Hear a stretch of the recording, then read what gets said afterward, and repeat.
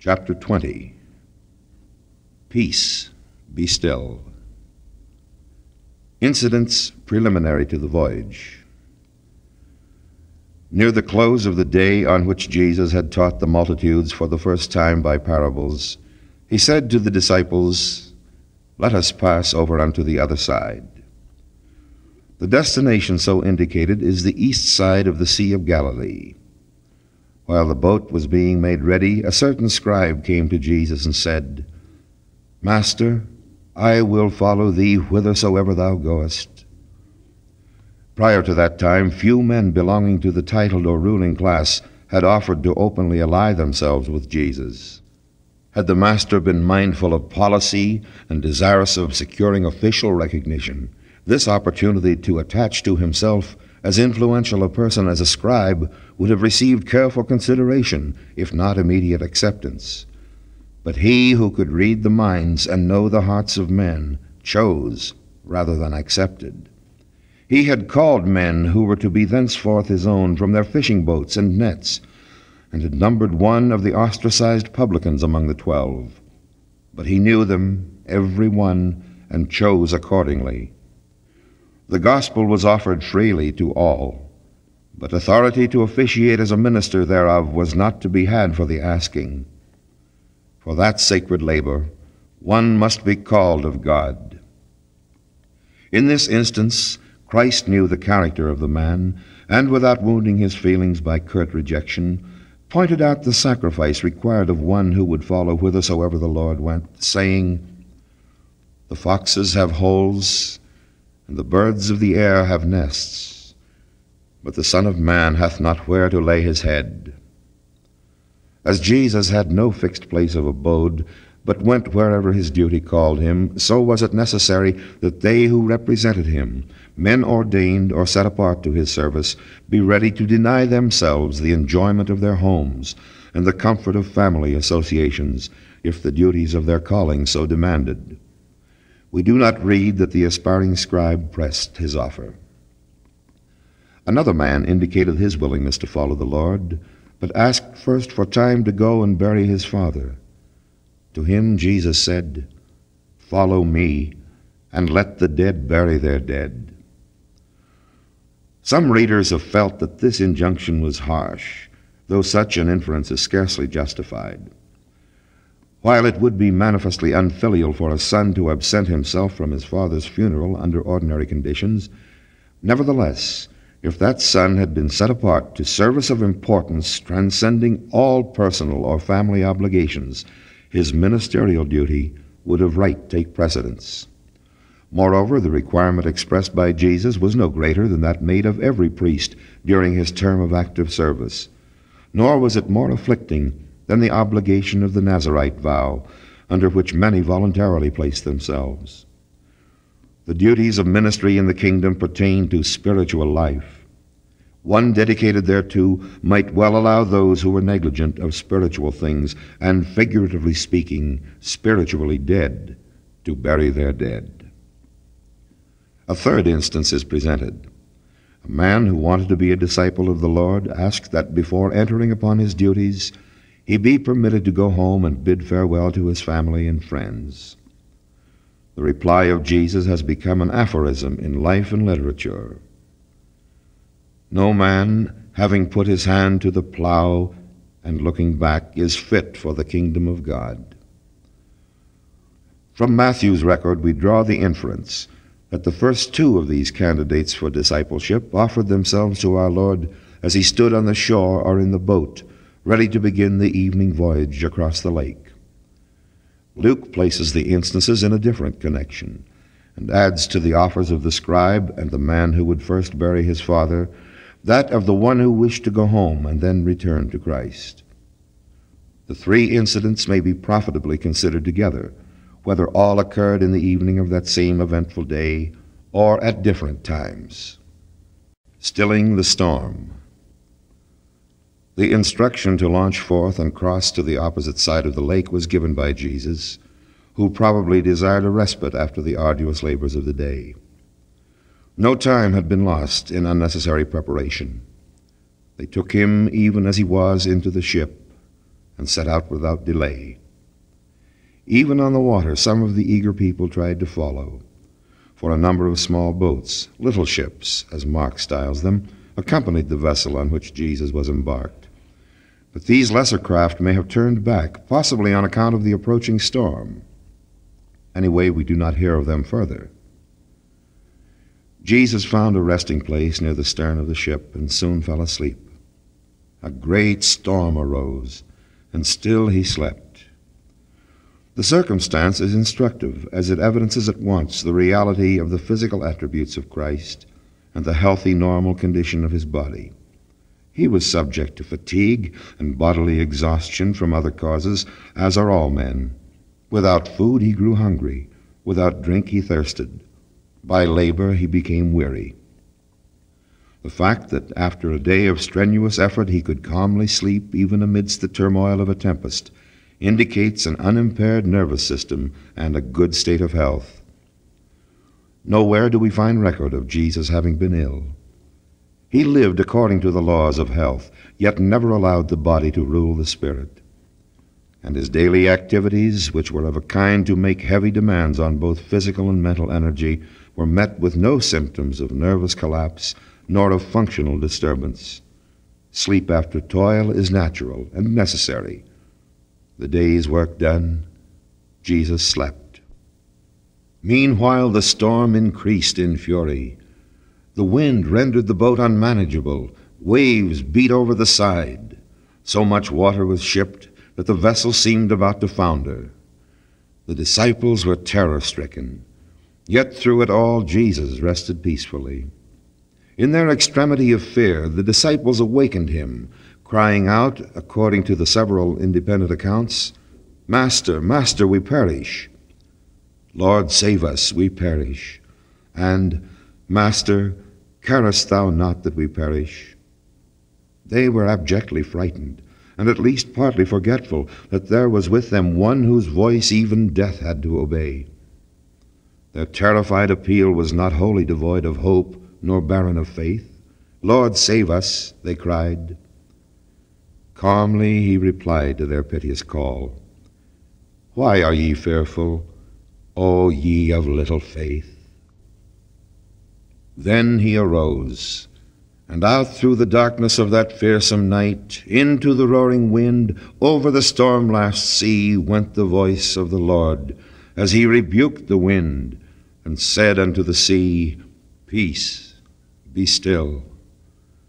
And the wind ceased, and there was a great calm. Turning to the disciples, he asked in tones of gentle yet unmistakable reproof, Where is your faith? And how is it that ye have no faith? Gratitude for rescue from what but a moment before had seemed impending death was superseded by amazement and fear. What manner of man is this, they asked one of another, that even the wind and the sea obey him? Among the recorded miracles of Christ, none has elicited greater diversity in comment and in attempt at elucidation than has this marvelous instance of control over the forces of nature. Science ventures no explanation. The Lord of earth, air, and sea spoke and was obeyed. He it was who, amidst the black chaos of creation's earliest stages, had commanded with immediate effect, Let there be light. Let there be a firmament in the midst of the waters. Let the dry land appear. And as he had decreed, so it was. The dominion of the Creator over the created is real and absolute. A small part of that dominion has been committed to man as the offspring of God tabernacled in the very image of his divine Father. But man exercises that delegated control through secondary agencies and by means of complicated mechanism. Man's power over the objects to his own devising is limited. It is according to the curse evoked by Adam's fall, which came through transgression, that by the strain of his muscles, by the sweat of his brow, and by stress of his mind shall he achieve. His word of command is but a sound wave in air, except as it is followed by labor. through the Spirit that emanates from the very person of deity and which pervades all space, the command of God is immediately operative. Not man alone, but also the earth and all the elemental forces pertaining thereto came under the Adamic curse. And as the soil no longer brought forth only good and useful fruits, but gave of its substance to nurture thorns and thistles, so the several forces of nature ceased to be obedient to man as agents subject to his direct control. What we call natural forces, heat, light, electricity, chemical affinity, are but a few of the manifestations of eternal energy through which the Creator's purposes are subserved. And these few man is able to direct and utilize only through mechanical contrivance and physical adjustment. But the earth shall yet be renewed and receive its paradisaical glory. Then soil, water, air, and the forces acting upon them shall directly respond to the command of glorified man, as now they obey the word of the Creator. Quieting the demons. Jesus and the disciples with him landed on the eastern or Perean side of the lake in a region known as the country of the Gadarenes or Gergesenes. The precise spot has not been identified, but it was evidently a country district apart from the towns. As the party left the boat, two maniacs who were sorely tormented by evil spirits approached. Matthew states there were two. The other writers speak of but one. It is possible that one of the afflicted pair was in a condition so much worse than that of his companion that to him is accorded greater prominence in the narrative, or one may have run away while the other remained. The demoniac was in a pitiful plight. His frenzy had become so violent, and the physical strength incident to his mania so great, that all attempts to hold him in captivity had failed. He had been bound in chains and fetters, but these he had broken asunder by the aid of demon power. And he had fled to the mountains, to the caverns that served as tombs, and there he had lived more like a wild beast than a man. Night and day his weird, terrifying shrieks had been heard, and through dread of meeting him, people traveled by other ways rather than pass near his haunts. He wandered about naked, and in his madness often gashed his flesh with sharp stones. Seeing Jesus, the poor creature ran toward him, and, impelled by the power of his demon control, prostrated himself before Christ, the while crying out with a loud voice, What have I to do with thee, Jesus, thou Son of the Most High God? As Jesus commanded the evil spirits to leave, one or more of them, through the voice of the man, pleaded to be left alone, and with blasphemous presumption exclaimed, I adjure thee by God that thou torment me not. Matthew records the further question addressed to Jesus Art thou come hither to torment us before the time? The demons by whom the man was possessed and controlled recognized the Master, whom they knew they had to obey. But they pleaded to be left alone until the decreed time of their final punishment would come. Jesus asked, What is thy name? And the demons within the man answered, My name is Legion, for we are many. The fact of the man's dual consciousness, or multi personality, is here apparent. So complete was his possession by wicked spirits that he could no longer distinguish between his individual personality and theirs. The devils implored that Jesus would not banish them from the country, or as Luke records in words of awful import, that he would not command them to go out into the deep.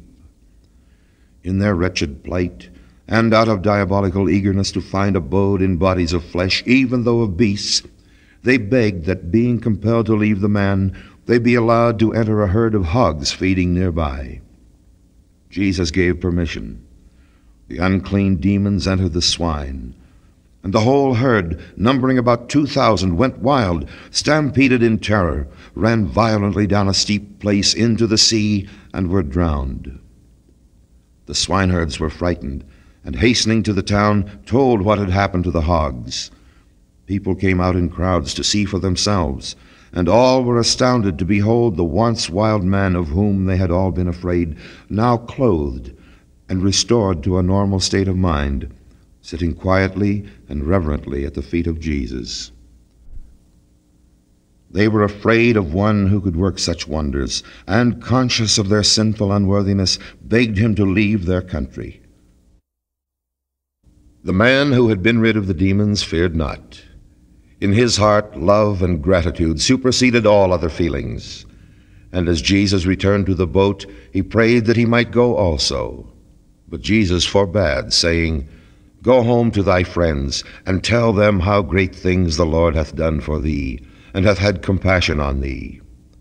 The man became a missionary, not alone in his hometown, but throughout Decapolis, the region of the ten cities. Wherever he went, he told of the marvelous change Jesus had wrought on him.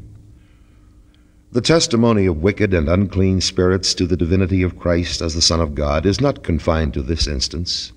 We have already considered the case of the demoniac in the synagogue at Capernaum. And another instance appeared when Jesus, withdrawing from the towns in Galilee, betook himself to the seashore, and was followed by a great multitude comprising Galileans and Judeans, and people from Jerusalem and Idumea, and from beyond Jordan, that is, from Perea, and inhabitants of Tyre and Sidon, amongst whom he had healed many of divers diseases and those who were in bondage to unclean spirits had fallen down and worshipped him, while the demons cried out, Thou art the Son of God. In the course of the short journey considered in this chapter, the power of Jesus as master of earth, men, and devils was manifest in miraculous works of the most impressive kind. We cannot classify the Lord's miracles as small and great, nor as easy and difficult of accomplishment. What one may consider the least is to another of profound import. The Lord's word was sufficient in every instance. To the wind and the waves, and to the demon ridden mind of the man possessed, he had but to speak and be obeyed. Peace, be still. The raising of the daughter of Jairus. Jesus and his attendants recrossed the lake from the land of Gadara to the vicinity of Capernaum where he was received with acclamation by a multitude of people, for they were all waiting for him. Immediately after landing, Jesus was approached by Jairus, one of the rulers of the local synagogue, who besought him greatly, saying, My little daughter lieth at the point of death. I pray thee, come and lay thy hands on her, that she may be healed, and she shall live. The fact of this man's coming to Jesus with the spirit of faith and supplication is an evidence of the deep impression the ministry of Christ had made even in priestly and ecclesiastical circles. Many of the Jews, rulers and officials, as well as the people in common, believed in Jesus, though few belonging to the upper classes were willing to sacrifice prestige and popularity by acknowledging their discipleship. That Jairus, one of the rulers of the synagogue, came only when impelled by grief over the impending death of his only daughter, a girl of twelve years, is no evidence that he had not before become a believer. Certainly, at this time, his faith was genuine and his trust sincere, as the circumstances of the narrative prove. He approached Jesus with the reverence due one whom he considered able to grant what he asked, and fell at the Lord's feet, or as Matthew says, worshipped him. When the man had started from his home to seek aid of Jesus, the maiden was at the point of death. He feared lest she had died in the interval. In the very brief account given in the first gospel, he is reported as saying to Jesus, My daughter is even now dead, but come and lay thy hand upon her, and she shall live. Jesus went with the imploring father, and many followed. On the way to the house, an incident occurred to hinder progress. A sorely afflicted woman was healed under circumstances of peculiar interest. This occurrence we shall consider presently. No intimation is given that Jairus showed impatience or displeasure over the delay. He had placed trust in the Master and awaited his time and pleasure. And while Christ was engaged in the matter of the suffering woman, messengers came from the ruler's house with the saddening word, that the girl was dead. We may infer that even these dread tidings of certainty failed to destroy the man's faith. He seems to have still looked to the Lord for help, and those who had brought the message asked, Why troublest thou the Master any further? Jesus heard what was said, and sustained the man's sorely taxed faith by the encouraging behest Be not afraid, only believe. Jesus permitted none of his followers save three of the apostles to enter the house with himself and the bereaved but trusting father. Peter and the two brothers James and John were admitted. The house was no place of such respectful silence or subdued quiet as we now consider appropriate to the time and place of death. On the contrary, it was a scene of tumult, but that condition was customary in the orthodox observances of mourning at the time. Professional mourners, including singers of weird dirges, and minstrels who made great noise with flutes and other instruments, had already been summoned to the house. To all such Jesus said on entering, why make ye this ado and weep? The damsel is not dead, but sleepeth. It was, in effect, a repetition of his command uttered on a then recent occasion Peace, be still. His words drew scorn and ridicule from those who were paid for the noise they made, and who, if what he said proved true, would lose this opportunity of professional service. Moreover, they knew the maid was dead.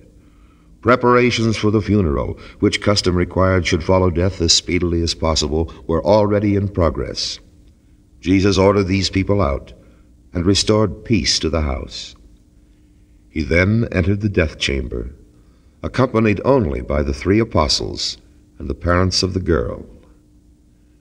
Taking the dead maiden by the hand, he said unto her, Talitha cumi, which is, being interpreted, Damsel, I say unto thee, arise. To the astonishment of all but the Lord, the girl arose, left her bed, and walked. Jesus directed that food be given her, as bodily needs, suspended by death, had returned with the girl's renewal of life. The Lord imposed an obligation of secrecy charging all present to refrain from telling what they had seen. The reasons for this injunction are not stated. In some other instances, a similar instruction was given to those who had been blessed by Christ's ministrations, while on many occasions of healing, no such instructions are recorded, and in one case at least, the man who had been relieved of demons was told to go and tell how great a thing had been done for him. In his own wisdom, Christ knew when to prudently forbid and when to permit publication of his doings. Though the grateful parents, the girl herself, and the three apostles who had been witnesses of the restoration may all have been loyal to the Lord's injunction of silence, the fact that the maiden had been raised to life could not be kept secret, and the means by which so great a wonder had been wrought would certainly be inquired into. The minstrels and the wailers who had been expelled from the place while it was yet a house of mourning, and who had scornfully laughed at the master's assertion that the maiden was asleep and not dead as they thought, would undoubtedly spread reports. It is not surprising, therefore, to read in Matthew's short version of the history that the fame of the miracle went abroad into all that land. Restoration to life and resurrection.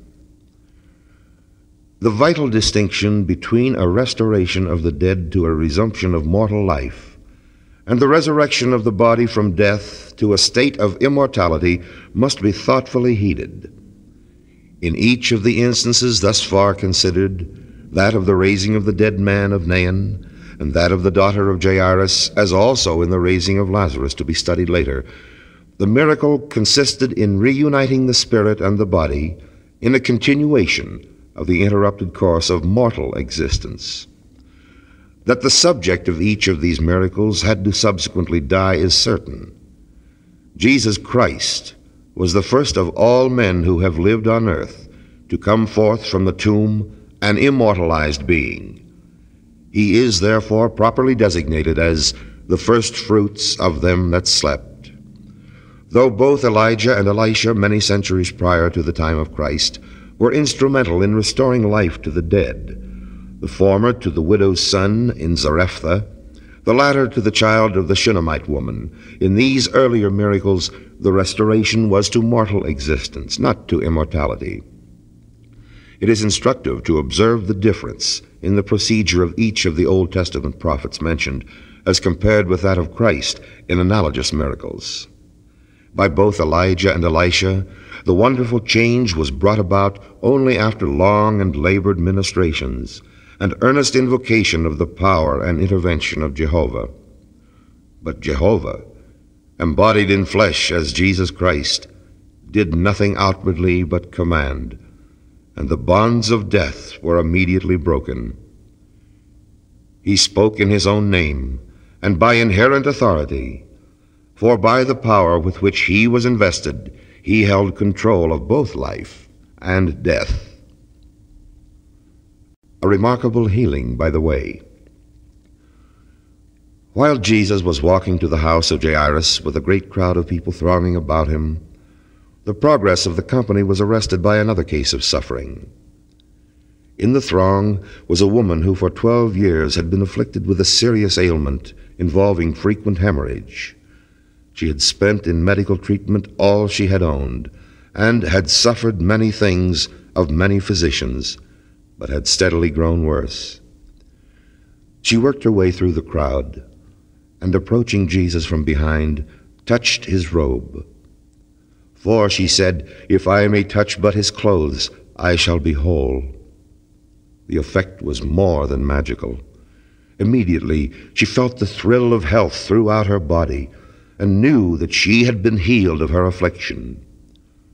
Her object attained, the blessing she sought being now secured, she tried to escape notice by hastily dropping back into the crowd. But her touch was not unheeded by the Lord.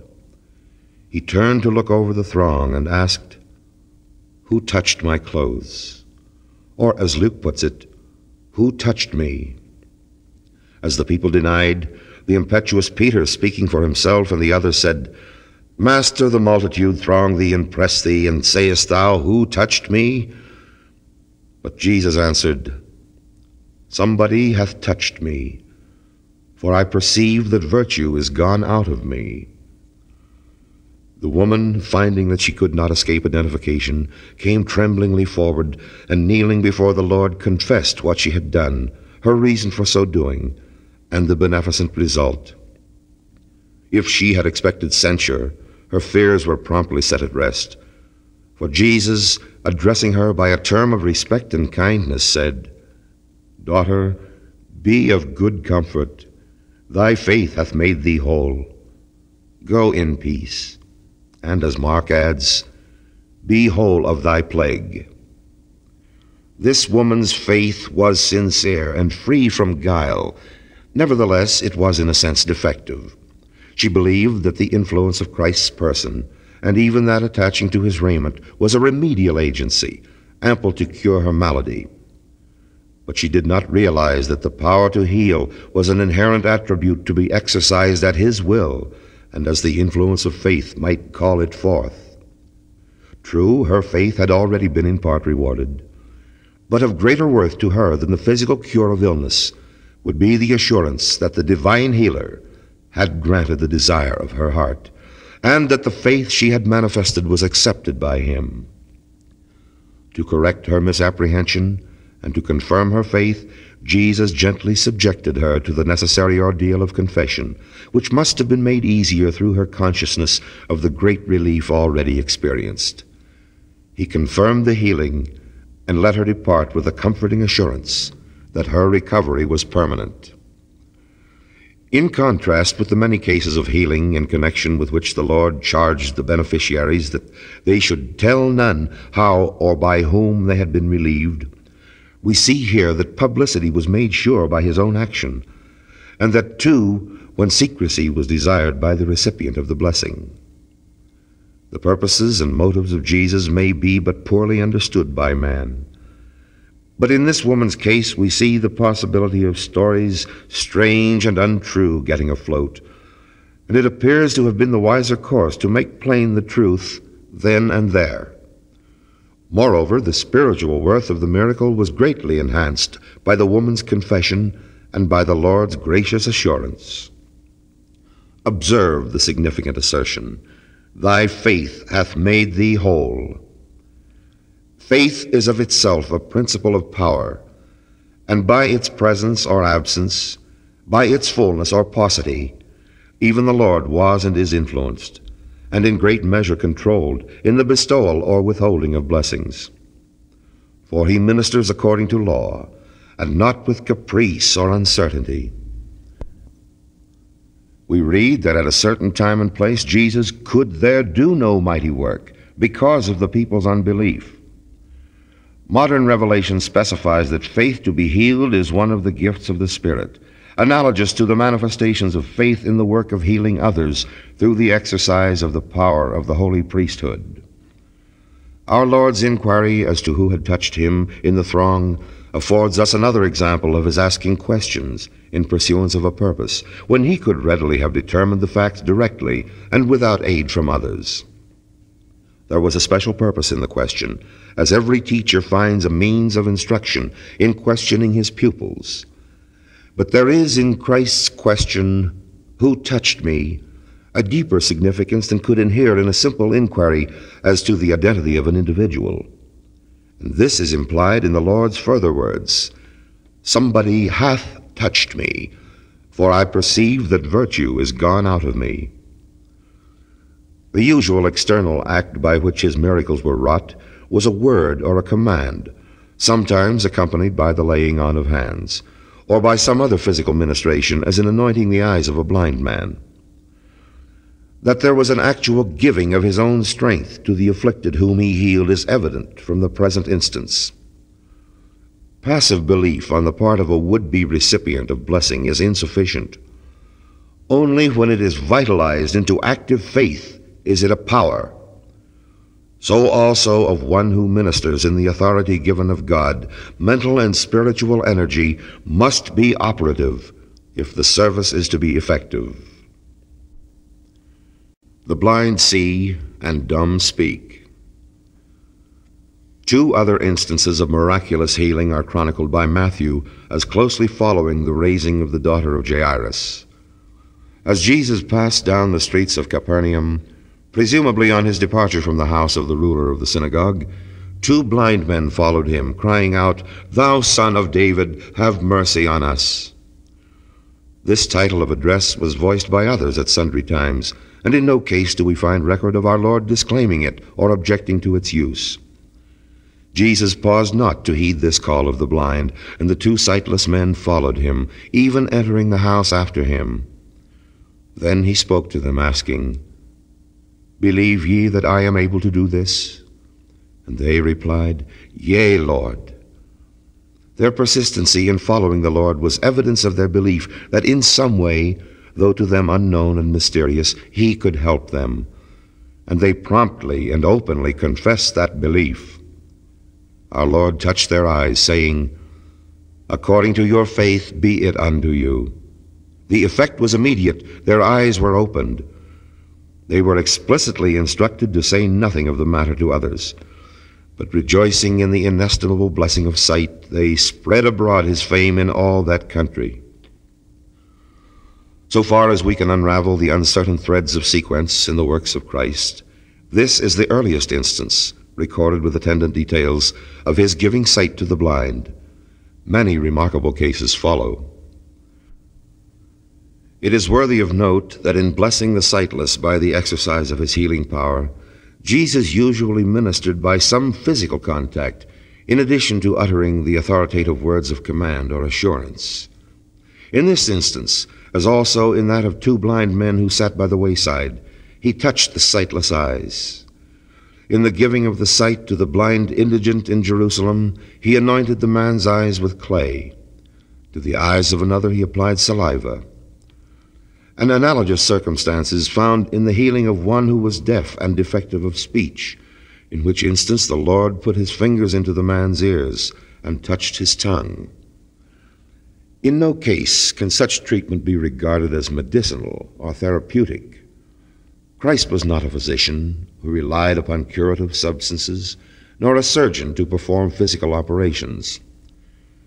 His healings were the natural results of the application of a power of his own.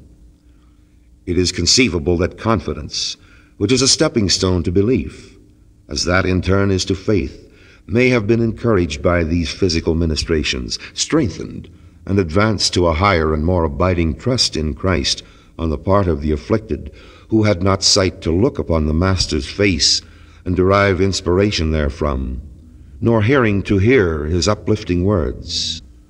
There is apparent not alone an entire absence of formula and formalism in his ministration, but a lack of uniformity of procedure quite as impressive.